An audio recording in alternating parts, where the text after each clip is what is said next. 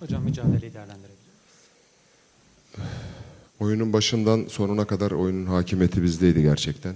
Ee, yapılması gereken her şeyi yaptık. Bir tek topu içeri e, sokamadık. Onun dışında oyuncu arkadaşlarım gerçekten ellerine gelen en iyisini yaptılar.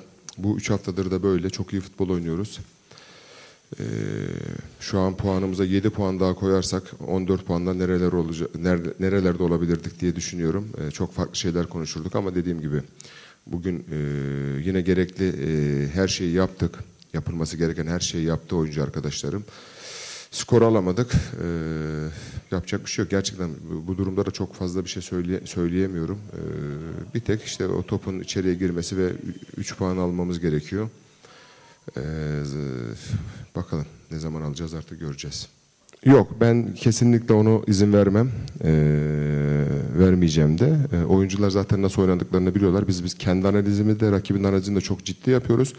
Özellikle 3 haftadır inanılmaz e, futbol oynuyoruz. E, Ankara gücüne mağlup olmamıza rağmen 10 kişi e, galip gelebileceğimiz bir maçtı. Keza Rize maçında yine hak ettik, kazanabilirdik. Bugün keza öyle.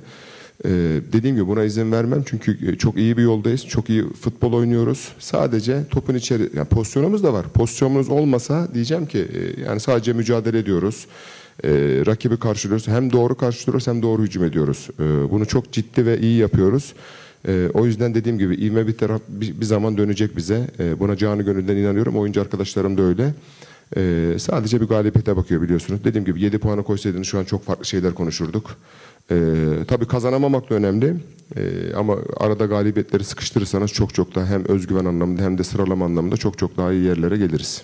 Bugün bugün Clinton iyi oynadı. Gerçekten girdi biraz hareketlendirdi orayı. Dediğim gibi Rey, Rey halen hazır değil. Yani görüyorsunuz e, e, Koyta'yı 15 dakika işte konuşarak işte sokmaya çalışıyorum. Yani o da hazır değil kesinlikle. Yani düşünün bir e, hazır bir santrafor olsa çok çok farklı daha şeyler yapabiliriz ama bunları bahane olarak söylemiyorum gerçekten söylemiyorum ama sizler de görüyorsunuzdur.